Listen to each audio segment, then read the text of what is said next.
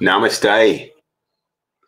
Good evening and welcome to a Saturday night live stream. And I just want to uh, start off by showing you in the background. I've got the lights turned down, but in the background, you might see the world's most gorgeous vegan cat. She's just sleeping there, sleeping there on the on the seat behind me, on her favorite seat. so that's Uma, the world's most gorgeous vegan cat anyway, I'll just uh, sit here and you won't get to see her. So let's bring up the title. Okay, so I'm doing a live stream tonight because I didn't get to do a live stream. I wasn't on the bicycle this morning, so I didn't get to do a live stream then. And if perchance I'm on the bicycle in the morning, I will be riding with a friend and won't get a chance to um, do a live stream then either. So this is this is making up for the bicycle live stream I usually do on weekend mornings. And uh, in fact, the reason why I, I couldn't get to it this morning was because um, my work is very busy. Um, there's a lot of, with the karma virus, there's a lot of um, fluctuation happening. There's a lot of places closing, either temporarily or permanently. Uh, and in contrast, there are quite a number of places that are actually um, getting busier. So, depending on the industry and uh, so I was working today, and and that's yeah. So I didn't get a chance to get on the bicycle.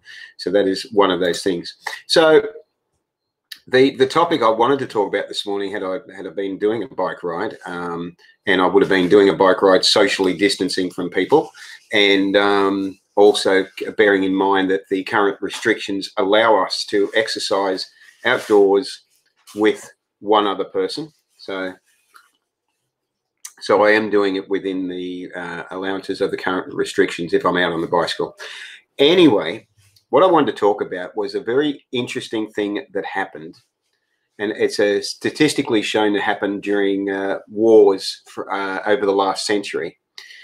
And I want to talk about what happens during wars and how that can help us now with the situation that we're we're in now. So let me just bring up the ticker here at the bottom. Okay, so you'll see the little tickers come up now. And what the tickers uh, asks is, why did suicide rates decrease or why do I should say why do suicide rates decrease during wars? It wasn't very good England, was it? Let me see if I can correct that um, with the marvels of modern technology. Here we go. Let's just, uh, what we're going to do, that's a refresh. Let's do a refresh. Why do suicide rates decrease during wars? Okay, so that is an interesting question and a statistic that I came up with, uh, came, came across a couple of years ago. I want to read you a short excerpt directly from the source. Um, research indicates that suicide rates decline during wartime. Now, I found this fascinating because I did some study on it a, a, couple of years ago. I would have assumed that during times, initially, I would have assumed that during times of war, suicide rates would have gotten worse. I would have thought there would be so much despair that they that the, people would just feel in such a terrible uh, state that suicide rates would get worse. But interestingly, they decline. The most likely explanation for this decline is the greater social cohesion of societies during wartime.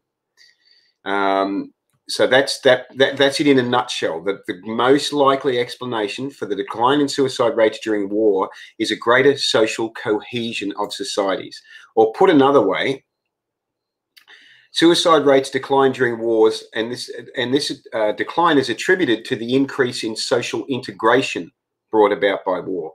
Um, during times of war, uh, the existence of a clear external enemy and the bonding together in the face of this threat increase the social ties and networking in in society thereby increasing social integration.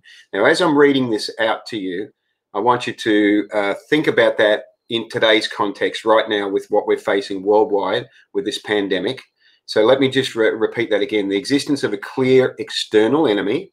Now, in, in current times, of course, the enemy is the virus, COVID 19. And the bonding together in the face of this threat increase the social ties and networking in society, thereby increasing social integration. So that's an interesting uh, thing that occurs with human behavior in times of crisis that we actually pull together. Um, so let me just see. There was uh, one other thing here about the same study. Um, let's see if I can just grab something from that. I think it's basically saying the same thing. It's a bit of a longer article. Bear with me a moment. Um, okay, still going. okay, no. So I've okay. So I've covered. I've covered the main, the main point there. Okay, which is quite quite simply the most likely explanation for suicide rates declining during wartime is the greater social cohesion of societies, and this uh, is because there is an existence of a clear enemy, and people are pulled together in a common cause to um, to work towards this enemy. So this is what we have right now, and this is why I want to bring up uh, this this example of, of what statistics have shown over a period of 100 years in relation to suicide rates at wartime. So we have an enemy now. We have a, a silent, deadly, um, unseen enemy that has very um, uh, obviously created a situation with different levels of fear and panic and stress and all of this very justified as a individual response to an unseen enemy. Uh, it's actually harder to respond to an unseen enemy than it is uh, to respond to one that is basically in front of you. It's like jumping at, at, at shadows, I guess. It's like sort of looking over your shoulder. When the enemy is clearly defined and right there in front of you, you have the opportunity to um, more easily sort of formulate a, um, a strategy to uh, to come back and and you know how do I combat this enemy? But when you're not sure where the enemy is, um, and and it's and it's the information regarding the enemy is confusing, then then we're left in a situation where we're it's it's a very tricky it's a very tricky situation, which is what we have now. So um, this, uh, so what we've learnt from people going through situations of war is that it actually brings people together. There is a cohesion, and there is a an understanding that we have to, if we're going to survive, we have to work together, basically. So it can bring out some very strong elements of human behavior, uh, a very good cohesion, working together. Um, one of the things, so I want you to dwell on that when it comes to um, situation we have now, is that um, if anything, we can actually grow from this. So one of the things that we have now that we did not have in uh, previous times where where there were war times, and one of the things we've got right now is quite heavy rain. You may even hear it in the background because it's started to come down quite heavy. So um, one of the things that we didn't have previously was a technology to do exactly what I'm doing now and exactly what so many other people are doing. To be able to reach out instantly to basically any part of the world that has internet connectivity um, or mobile phone connectivity and the technology to receive.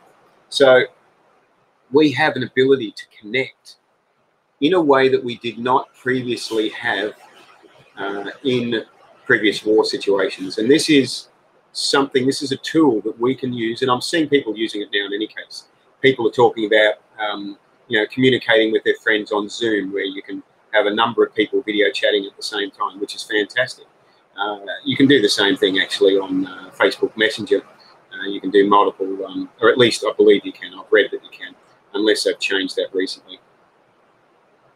So um, we have a technology, we have a tool that allows us to, if we're self-isolating, if, if we're you know stuck at home, we can use our creativity to work with these tools we have. Most of us have, at the very least, a mobile phone with a camera in it that allows us to do a live stream or to video chat with friends and family. Um, a, you know, a great majority of us would have Wi-Fi so that we could do that, um, you know, hopefully cost effectively. Um, so there's, there's, you know, there's resources there that we can use in a positive way rather than just uh, feeling completely isolated because we have to be very aware of the um, mental health implications of being in a environment that is not changing where we're, we're inside we're indoors we're not actually outdoors in nature we're not actually taking in the wonderful clarity of air that is outdoors and also the incredible uh, effect that seeing a night sky or or even a daytime uh, beautiful say autumn sky the amazing effect that this has on our psyche and to lift our spirits. If we are not seeing this then we should be at least taking the opportunity to be looking at our windows to be getting out in our garden if that, if, if that's uh, appropriate in the part of the world that you're in and taking in, uh, you know, the vitamin D, taking in the, the fresh air, taking in the sounds of the birds, um, maybe the, the, the crickets at night, um, just getting all this connection that we need with nature, maybe uh, getting the feel of the earth on our feet, um, and just, you know, reconnecting, allowing the external nature to reconnect us internally, which is what it does do, allowing us to slow down, and uh, ground ourselves. Because if we're stuck inside, it's not healthy to be indoors all the time. And I am concerned for people that are that are doing that because it is definitely not healthy. So if you don't have the opportunity, if you're living in an environment where you don't have the opportunity to get out of an apartment block or something and be outside, you only have some small veranda or no veranda at all, let's be creative let's use technology in a way where we can uh, get on YouTube, um, look at you know fantastic nature videos with beautiful uh, sounds of nature and babbling brooks and so forth. Let's bring that. Let's bring nature to us if we can't go out into nature a little bit, because the healing effects of nature can at least be brought to us. So that's something that you know I think we need to think about doing as well.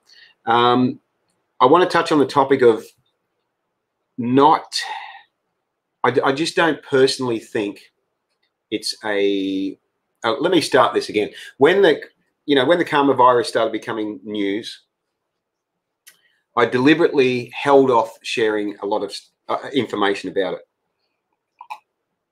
I held off because i wanted to see what was what direction it was taking what the valid, validity of the press reports were and you know, I needed to be reasonably responsible in any with anything I shared. I, I, you know, I, I, if I, I wasn't certain about things I was reading, and I, thought, no, I can't pass this on and feel I'm going to be responsible uh, in passing this on. So I waited till there was a bit more cohesion in the messages being received, uh, and with that in mind, I want to say that still there is a lot of information out there that contradicts other information out there. There is a lot of speculation out there. And this is something that I've spoken about in live streams before mental speculation. Uh, that without uh, spiritual wisdom is just a complete waste of time. It's what I call a cosmic mind wank. And it really is somebody just going off in some direction thinking, you know uh, they've they know what you know they know what the reason for things is and all the rest. And then the next day see the reason i talk about this is I, i'm getting sent a lot of i'm getting a, a, lot of messages from people from all over the world. I'm getting sent a lot of, of information. I'm getting sent videos. I'm getting sent um, uh, long documents. Uh, yes, there's quite a lot of stuff I'm receiving every day. A little bit overwhelming at times because it, it, takes me a while to get through it all. And some of it is just pure insanity. It's just pure gibberish. Um, I'm not judging the people that are sending it in good faith. They think they're doing the right thing. But, you know, if I want to take an example of, of something that was sent to me maybe a couple of weeks ago where um, I started watching this YouTube video And well, straight away I got offside with within the first 30 seconds or minute of this presenter who was advocating that we should all be on a raw meat diet. Straight away I went, wow, you're that far off the track. That's amazing. And then within the next minute, he said the only way you can catch the virus is through injection. And I went, okay, that's enough of that video. Goodbye. so that's what I mean. That sort of, you know, insanity that is out there, and there's tons of it. What if if we take that in, we end up what do we end up with? Just completely confused. So the antidote to that is that we need to disconnect from that and go back to a meditative state and get the answers from within. We need to uh, make a connection with nature again, either externally outside or bring it to us through technology. We need to meditate and bring the answers back to us to, br- to bring back a sense of clarity and to get away from all the confusing messages that are not going to serve us well at all in, in, able, in order to be able to make sensible decisions. So keep that in mind um, because, you know, does it, do we really know where, where the karma virus started? Um, how it was created, how it's how it's been spread. There there is um, when it happened. I mean, there is a lot of information about it, and um, once a lot of the information starts pointing in a general direction that's the same, then uh, you know it's more likely to be correct. But a lot of people, a, a large majority of people, can also be wrong. I mean, look at the world. The majority of people still eat animal products. So the majority of people are actually making a wrong decision at every meal. You think, how is that possible? How can so many people, how can the greatest majority of people in the world be wrong? But, and yet they are. And so keep that in mind when you watch a video or you read some information from some expert who's not vegan, because the way they look at the world, the way they look at information will not even take into account the the fact that the virus came from an animal source. They will be looking outside of that. It won't be in their in, on their radar. It won't be in their their view. It's just not something that they're thinking of because they don't think about animal rights. They don't think about protecting animals and doing the right thing about it. There, that's not that. It just hasn't entered into their life because they're still eating animals. So how can it? So they're looking for other reasons for the karma virus because they're not going to look at it coming from an animal. They're going to look at, oh, you know, it's a the government created it. You know, so this is where you start to get these conspiracies, and they get more and more insane, and you just get, um, you know, yeah. Well, I, no need to really go right into it, but there is a lot of absolute rubbish out there, and just take it back to the messenger and have a look at the messenger in, in these cases if the messenger is vegan, then I'm going to give them a lot of credibility because their research is going to take into account um, the protection of animals. If they're not, then their research is less likely to take into account the protection of animals, the rights of animals, and they're more likely to look outside that arena into something else, and it's just going to be ridiculous. And unfortunately, there's a lot of that out here. So, the points I wanted to make tonight, I think I made most of the points is that, um, uh, and nam namaste, uh, Suraj, uh, thank you for watching. Uh, the um, is that what has been proven uh, during war times is that humans, when they pull together, when people pull together to fight a common enemy, we actually find resilience. We find something to live for, a sense of hope, something to fight for. Um, we have a sense of community. We have feel a stronger spirit, and uh, we we we develop or we work on our creativity. And you know, we there's just if you look at the you know any of the stories from the war war years of the of the of the creativity of people to be able to source things that they could not get otherwise. We have become in modern times very lazy, very selfish, and not particularly creative. And so we need to be able to put on our creative thinking hat. How do we, you know, so I'll give you an example. A friend of mine's mother has been making masks. I ordered uh, four masks uh, off him today, which I'll get on Monday. Um, they're not cheap, but uh, I saw them and I thought, wow, these look pretty impressive. So there was creativity, you know, this sort of thing during the war years. If you talk to people that went through the war years, they will tell you about the amazing creativity of, of how they just had to build things from materials that they had because there was no other choice. They could not get the materials they needed. So they had to be incredibly resourceful. And my father was a child uh, during World War II, and I've listened to um, stories of, of, what he went through, both stories of, of um, of how scary it was uh, when he was in Ireland uh, and, the, and the war was still on, how scary it was as a child to witness what was happening. And also the stories of resourcefulness, of, of just how they. Um, uh, hi, Susan. Thank you for watching.